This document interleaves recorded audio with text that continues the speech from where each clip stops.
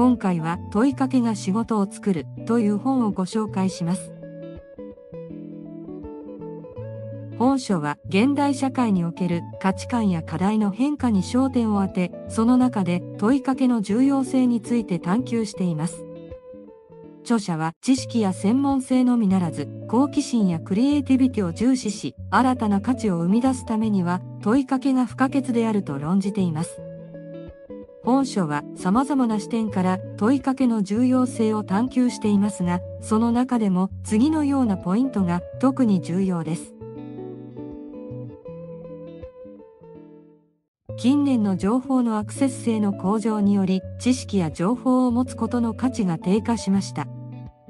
そのため単に答えを持つことよりも好奇心や探求心が重要視されるようになりました。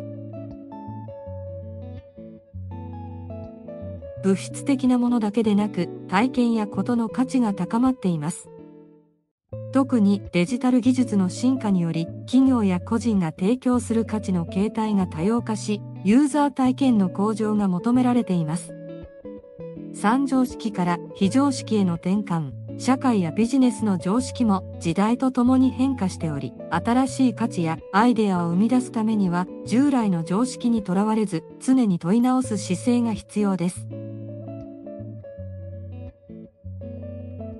過去の理由や原因だけでなく未来に向けての展望や可能性を探ることも重要です。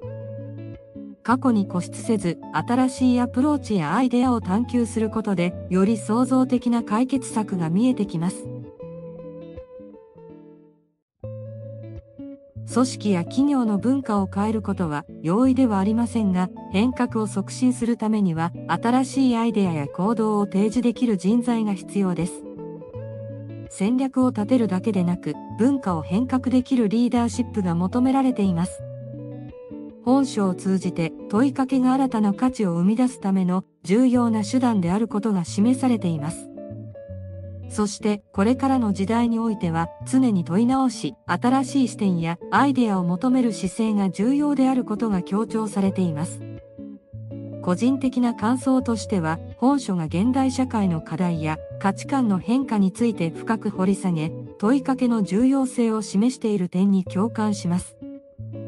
特に情報が氾濫し変化が激しい現代社会においては従来の枠組みにとらわれず常に新しい視点やアイデアを模索することが求められています。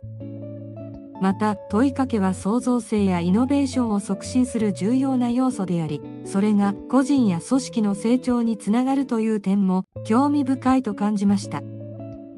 このような視点から今後も問いかけの重要性を理解し常に新しいアイデアや解決策を模索する姿勢を持ち続けることが大切だと思います。